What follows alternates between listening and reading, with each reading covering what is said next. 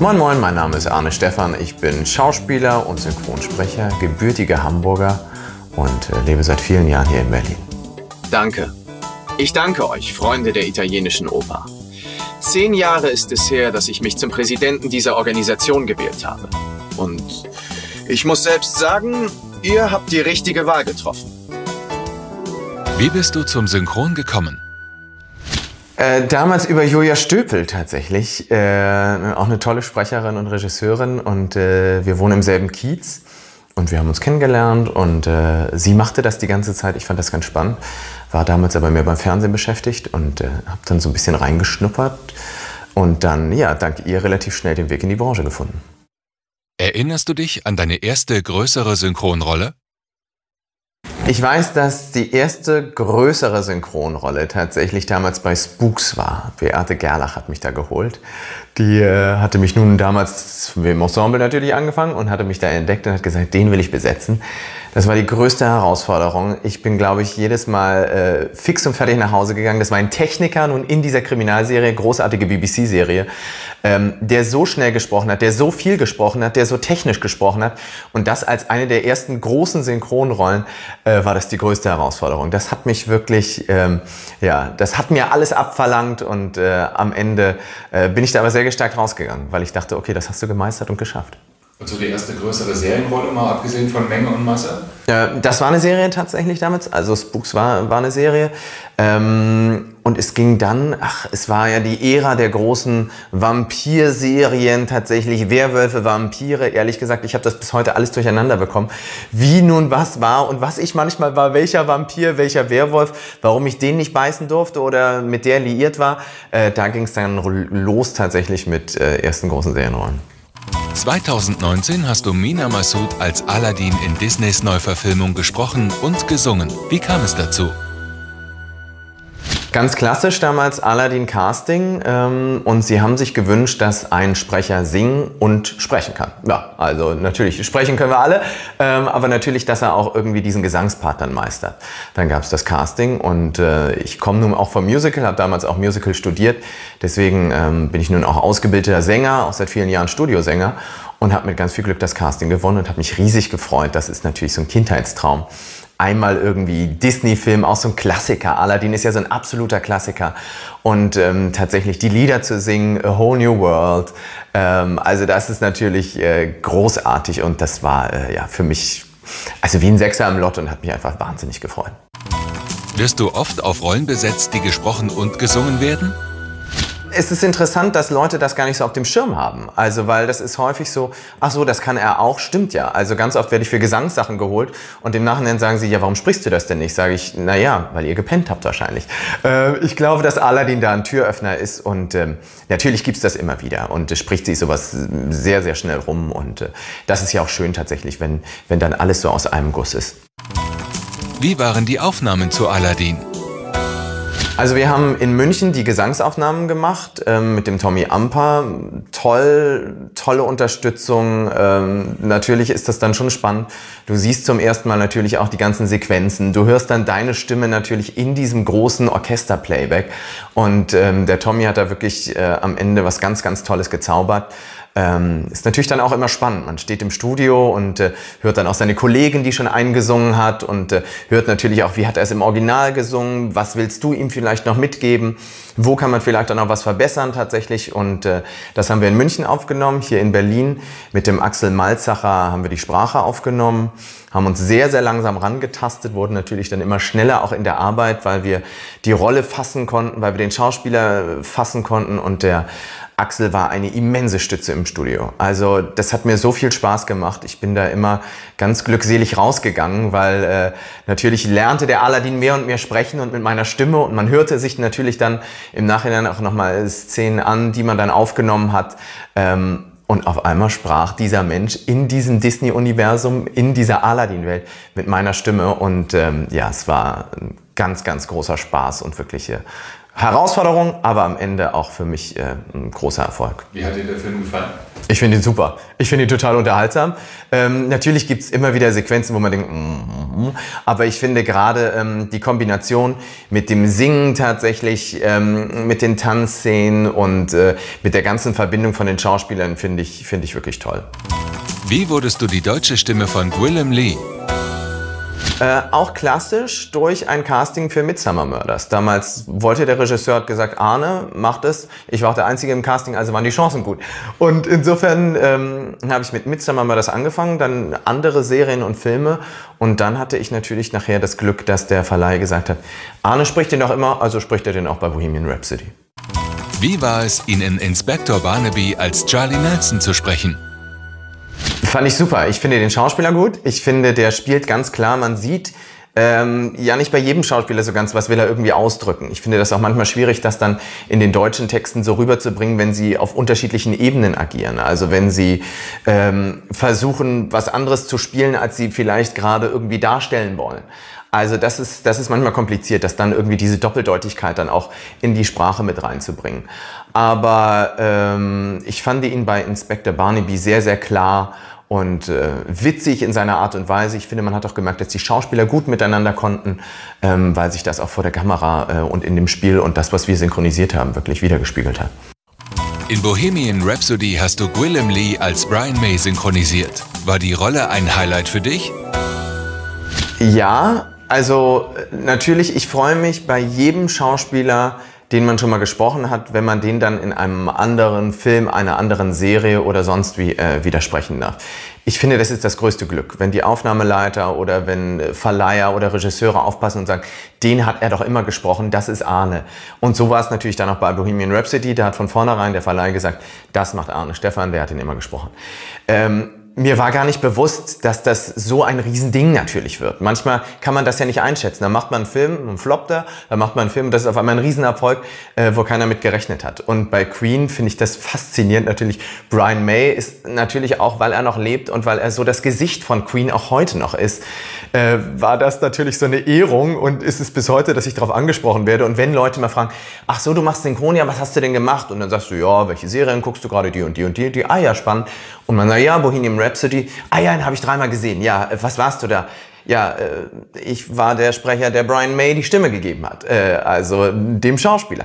Na, das glaube ich nicht. Also das ist bis heute absoluter Klassiker. Ganz viele haben den gesehen und ich glaube, das wird ein absoluter Kultfilm. Bist du selbst Queen-Fan?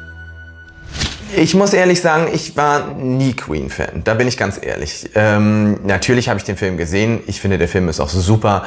Ähm, was äh, Freddie Mercury und was Queen geschaffen haben, ist natürlich, äh, ja, es ist outstanding. Also das ist wirklich, das ist Musikgeschichte und daran orientiert sich ganz viel. Das war was ganz Magisches, was sie damals wirklich erreicht haben mit ihrer Musik. Und man sieht das ja bis heute, was da tatsächlich immer noch von genutzt wird, wie die Leute auf diese Musik abgehen. Ähm, das ist zeitlos und das waren wirklich, äh, ja, es waren einfach Virtuosen in ihrem Geschäft. Und das, was sie erreicht haben, ist wirklich ja ich weiß nicht, wie kann man es ausdrücken? Hall of Fame oder was weiß ich was, wo sie überall sind. Ähm, das finde ich faszinierend. Was reizt dich an Gwillem Lees Spiel? Mm, ich finde, dass er als Brite ähm, relativ klar wiedergibt, ehrlich gesagt, was er, was er erreichen will. Also er, er umspielt nicht Dinge, sondern er spielt sehr direkt.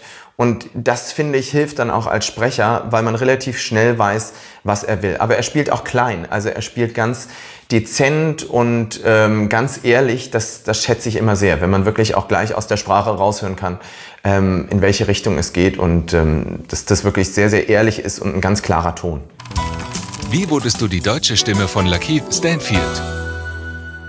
Ich glaube durch Tobi Müller, ehrlich gesagt. Tobi Müller hat mich auch in einer anderen Serie kennengelernt, hat gesagt, du passt darauf. Und äh, das ist, glaube ich, der Schauspieler, der mich jetzt am längsten begleitet. Ähm, ein super Schauspieler, ein völlig verrückter Schauspieler tatsächlich, äh, der so verrückte Sachen macht. In all den Serien, in all den Filmen ist er so unterschiedlich und trotzdem gibt es so einen, so einen roten Faden, der sich immer durch sein Spiel zieht. Ähm, und ich freue mich einfach immer wahnsinnig, wenn, wenn irgendwie ein neuer Film kommt oder wenn jemand sagt, ich habe da jemanden, den hast du schon mal gesprochen. Und ähm, der hat auch so einen ganz speziellen Duktus.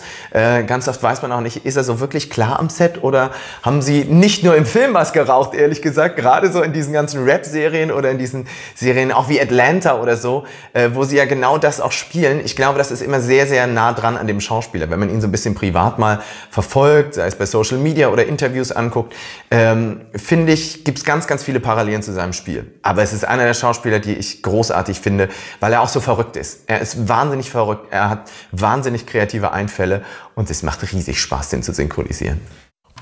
Du hast ihn in Straight Outta Compton als jungen Snoop Dogg synchronisiert. Wie hast du dich in die Rolle des berühmten Rappers versetzt?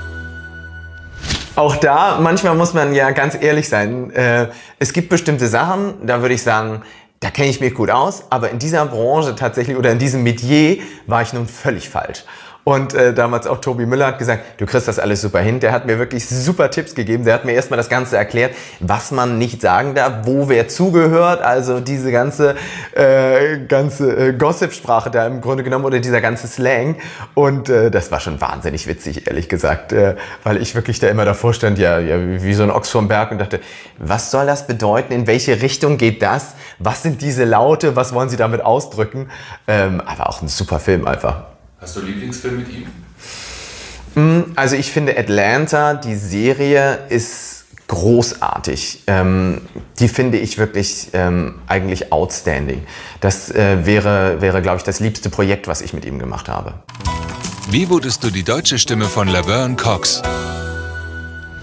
Also Laverne Cox ähm, bin ich damals geworden, weil sich in Berlin rumgesprochen hat, ah, der Arne, der ist, glaube ich, relativ vielseitig und ähm, es ist ein Transgender, war früher ein Mann, hat sich dann umoperieren lassen und ist wirklich eine Ikone ähm, in der LGBT-Community.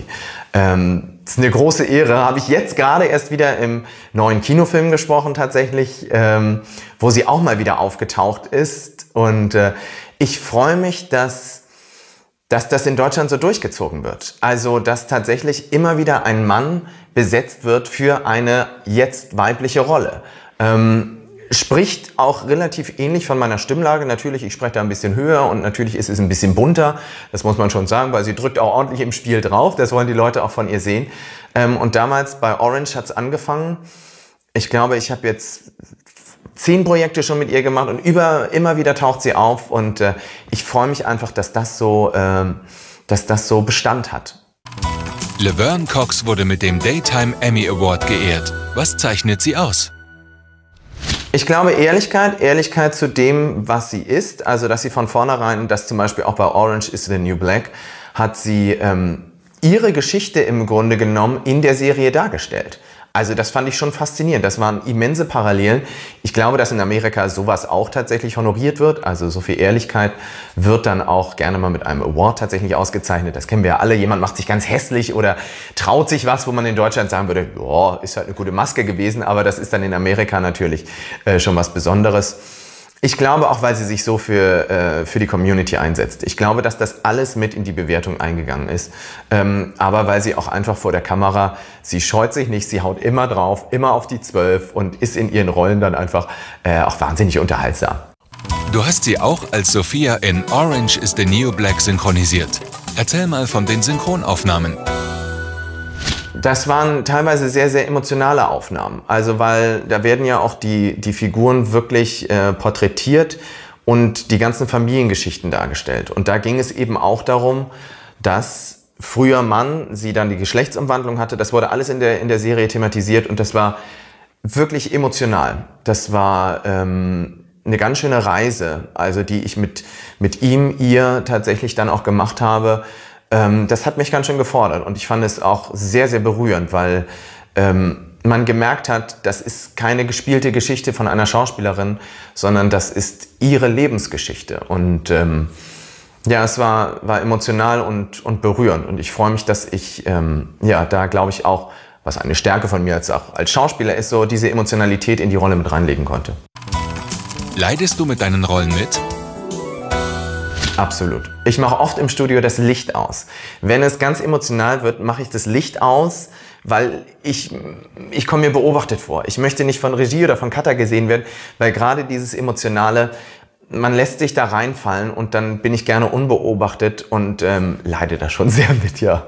Wenn du mal so vergleichst, ähm, Serienproduktion und Kinofilmproduktion, wo sind die Unterschiede? Was hat sich da verändert? Serienproduktion wird sicher immer stressiger, weil wir immer schneller abliefern müssen. Abliefern klingt natürlich negativ, kann aber auch was Positives sein natürlich. Die Fristen werden kürzer. Beim Kinofilm hat man wirklich einfach viel mehr Zeit. Man kann sich das ganz genau angucken. Man schaut wirklich, dass man auch die kleinsten Laute, die kleinsten Gefühlsregungen, die sich vielleicht nicht in Sprache äußern, dass man die ganz genau hinbekommt. Das finde ich schön, dass man Zeit hat, man hat keinen Druck. Ich empfinde es aber auch so bei Serien, und es wird auch wieder mehr tatsächlich bei hochwertigen Serien, wo sich Zeit genommen wird, weil man einfach ein ganz perfektes Produkt abliefern will. Und ich freue mich dann riesig, wenn es da äh, Regisseure gibt, die wirklich sagen, wir arbeiten und arbeiten und arbeiten, um das Beste rauszuholen. Und wenn wir den Take 20 mal machen, ist es egal. Aber wenn er dann perfekt ist, ähm, dann ist es tatsächlich so geworden. Aber man muss auch sagen, es gibt natürlich solche und solche Serienproduktionen. Es gibt natürlich heute auch viel, was einfach schnell äh, produziert und weggesprochen werden muss. In Digimon Adventure Try hast du Daigo Nishijima gesprochen. Was macht den Reiz von Anime-Rollen für dich aus? Ich finde das bei Anime super, dass es natürlich ähm, völlig fantasievolle Geschichten sind. Also das sind ja keine Abenteuer die man im normalen Leben oder in normalen Serien, die man synchronisiert oder in normalen Filmen tatsächlich erlebt. Äh, das finde ich bei Anime äh, wahnsinnig witzig natürlich. Diese ganzen Konstellationen, was mir manchmal schwerfällt, genau zu verstehen, warum hat der die Kräfte, warum kann der das, warum ist der mit der und nicht mit so und so. Das fällt mir manchmal schwierig, ehrlich gesagt. Aber ich muss zugeben, mir macht Anime wahnsinnig viel Spaß. Ich verrate aber auch ein Geheimnis. Ich bin der schlechteste Mensch, was Namen angeht. Das ist in jeder Serie und in jedem Film so. Ich muss immer fragen und wenn ich Regisseure neu kennenlerne, sage ich immer am Anfang, niemals böse sein. Ich werde mindestens nach dem dritten Take wieder fragen, wie wird der ausgesprochen, wie heißt die Rolle. Das ist bei Anime, ich glaube, da machen sich viele schon drüber lustig, weil sie immer sagen, ah, jetzt kommt Arne, der kann sich eh keinen Namen merken. Auch meine eigenen Rollennamen ist es oftmals wie, ich sagte, wie, äh, sprich noch mal vor, nur zur Sicherheit. Und äh, das ist gerade bei Anime immer wieder die größte Herausforderung tatsächlich. Ich glaube, da gibt es ganz viele Outtakes, wo man sagen würde, alle Rollen miteinander vermischt in einem Namen. Wie sieht ein typischer Synchrontag bei dir aus? Mm, ich fange immer sehr, sehr gerne früh an. Ich bin jemand, der gerne gleich morgens, äh, gerne ab neun, wenn wir anfangen, hier typisch in Berlin, dann loslegen. Ähm, und ich bin auch jemand, der gerne ohne Pausen durcharbeitet. Wenn ich jetzt in einer Rolle bin, wenn wir gerade dann eine Serie machen oder einen Film, ich freue mich immer, wenn wir wenig Pausen machen, damit man nicht aus der Konzentration rauskommt. Und ähm, klassisch immer, ich komme als erstes, ziehe die Schuhe aus. Ich kann nicht mit Schuhen synchronisieren. Ich kann auch nicht sitzen. Das ist irgendwie. Ja, jetzt habe ich auch genau. Ich habe schon wieder halb die Schuhe aus. Das ist irgendwie der Klassiker. Deswegen trage ich meistens bunte Socken, damit es nicht so traurig aussieht. Ähm, aber ähm, ja, klassisch in Berlin natürlich ist es so ein bisschen never ending manchmal. Ne? Dann geht manches in die Nachtschicht, manches geht ans Wochenende irgendwie dann rein mit den Terminen. Aber ähm, es ist schon ähm, ordentlich zugepackt hier in Berlin. In der DC-Serie Gotham synchronisierst du Andrew Stewart Jones als Crispus Elm. Was gefällt dir an der Rolle? Es ist interessant, weil ähm, auch den habe ich vorher in zwei anderen Serien gesprochen und äh, ich fand ihn in der Serie überraschend, äh, weil er mich tatsächlich da äh, vom Spiel her immer wieder überrascht hat. Ich habe ihn ganz anders in Erinnerung gehabt und war tatsächlich in der Serie nicht so ganz glücklich mit dem, weil ich hatte das Gefühl, da finde ich keinen Zugang. Das gibt's auch manchmal, dass man denkt, ich dachte, ich kenne dich als Schauspieler oder habe ein gutes Gefühl, so wie du sonst spielst. Und manchmal gibt es Serien, da kommt man nicht so ganz drauf. Und das ist mir tatsächlich bei Gotham passiert. Wie war es für dich, in GZSZ die Doppelrolle des Mark und des Viktor Hansen zu spielen? Klassiker natürlich die Frage. Äh das war, hat mir ganz viel Spaß gemacht. Also das ist, ähm, gerade wenn man natürlich die Chance hat, irgendwie einen Zwilling zu spielen und beide Rollen darstellen zu können, ähm, war, das, war das eine große Herausforderung. Ein tolles Team, das waren tolle zweieinhalb Jahre. Ist natürlich auch so ein bisschen der Klassiker, dass man irgendwie immer noch mit Projekten in Verbundenheit oder in Verbindung gebracht wird, ähm, die natürlich auch Jahre her sind. Stehst du lieber hinter Mikrofon, vor der Kamera oder auf der Bühne?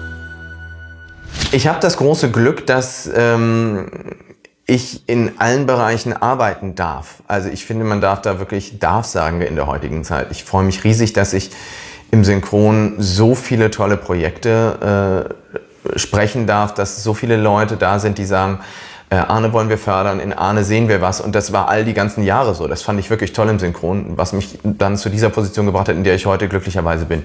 Ich stehe aber auch immer noch gerne auf der Bühne, weil es einfach körperlich natürlich eine ganz andere Herausforderung ist. Man hat auch das Live-Publikum. Das fand ich auch beim Drehen damals immer so ein bisschen enttäuschend. Man verspricht sich und sagt, ach komm, Cut, äh, wir machen es gleich nochmal. Auf der Bühne versprichst du dich und denkst dir nur so, und wie rette ich mich? Das ist ja das Schöne, das ist ja auch irgendwie äh, die Spontanität, die da immer von einem gefordert wird. Und das ähm, ja, bringt ja auch das Adrenalin irgendwie in deinem Körper dann in Wallung. Ähm, also ich, ich liebe alle drei Sachen, aber synchron, gerade weil man da bei so tollen Projekten dabei sein darf, ähm, ist das wirklich ähm, ja, was ganz, ganz Besonderes für mich und äh, liebe ich einfach. In House of Cards hast du Nathan Darrow als Francis Underwoods stoischen Bodyguard gesprochen. Warst du selbst Fan der Serie? Großer Fan. Absolut großer Fan. Am Anfang wusste ich auch nicht so ganz, was das wird. Da wussten wir alle noch nicht. Es ging los. Man wusste in Deutschland nicht so ganz, wo geht die Reise hin, was wird das für eine Serie werden. Natürlich, das ist eine der, der ganz großen Serien geworden. Ich kenne kaum jemanden, auch in meinem Freundes- oder Bekanntenkreis, der diese Serie nicht gesehen hat. Und ich finde es interessant, dass ganz viele sie auf Deutsch gesehen haben. Natürlich, man guckt ja auch immer mal Original. Ich gucke auch gerne Original, um dann doch mal so den Vergleich von den Stimmen zu haben. Äh, und bei House of Cards habe ich von fast allen gehört, sie haben sie fast alle synchronisiert gesehen, weil es natürlich auch mit dem politischen System und mit diesen ganzen Fachbegriffen und so, ich finde auch, man kam da relativ schnell raus. Deswegen ist das ähm, damals großartig gewesen, aber leider, leider, leider hat es ihn nun viel zu früh getroffen. Ähm, und dann, ja, war er eben nicht mehr in der Serie dabei. Was wünschst du dir für die Zukunft der Synchronbranche? Ich glaube, dass wir alle fair miteinander weiterhin umgehen. Ich finde das ganz, ganz wichtig, dass vor allen Dingen aber auch ähm, die Arbeit von den deutschen Synchronsprechern, ähm, dass die weiterhin im Fokus steht. Weil wir sind auch für den Erfolg von Filmen und von Serien mitverantwortlich und das ganz maßgebend. Also, weil in Deutschland gucken ganz viele Leute Deutsch. Deutsches Synchron, finde ich, ist eines der qualitativ hochwertigsten.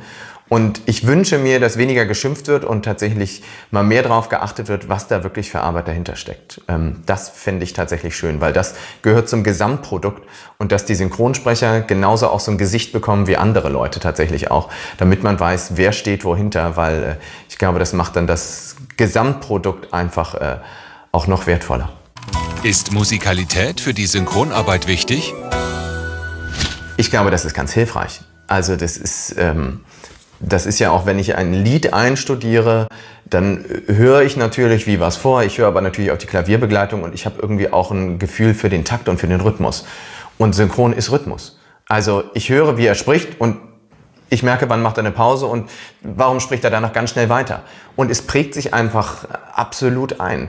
Äh, das hat mir sehr, sehr geholfen von Anfang an und auch bis heute, dass man merkt, das ist ja so ein Fluss. Also die deutsche Sprache ist ja eine wunderschöne Sprache und man merkt das ja auch, jeder Satz hat ja eine spezielle Melodie und hat einen speziellen Rhythmus natürlich auch und äh, ich finde, da ist die absolute Parallelität da. Also das, das merkt man und ähm, das hilft beim Synchron immens, weil ich höre manchmal gar nicht so genau tatsächlich, was spricht er, gerade wenn sie im Slang sprechen oder wir synchronisieren ja auch nicht nur Englisch, sondern auch Sprachen, die wir vielleicht nicht sprechen und trotzdem hörst du einen Rhythmus und du hörst manchmal eine Melodie, äh, und kannst wenigstens sehen, warum geht er auf das Wort oder warum betont er das oder warum macht er da eine Kunstpause, was will er damit ausdrücken. Und das hilft immens. Das hat mir immer sehr, sehr geholfen und auch bis heute.